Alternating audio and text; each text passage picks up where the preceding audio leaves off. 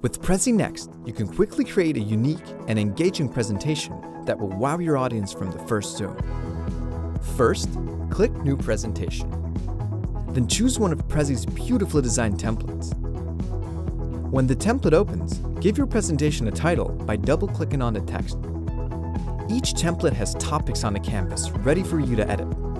Simply double-click to zoom in, and then add your content from the Insert menu. Let's start with an image.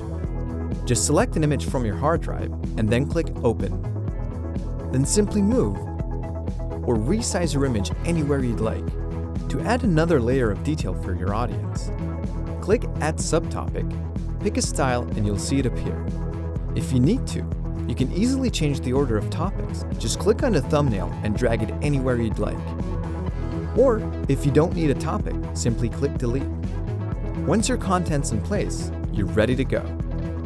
Just click Present. Now you could use the arrows to go through your presentation in order, but Prezi Next allows you to create a conversation with your audience by clicking any topic, anytime. There you have it. Now you're ready to take your presentations to the next level with Prezi Next.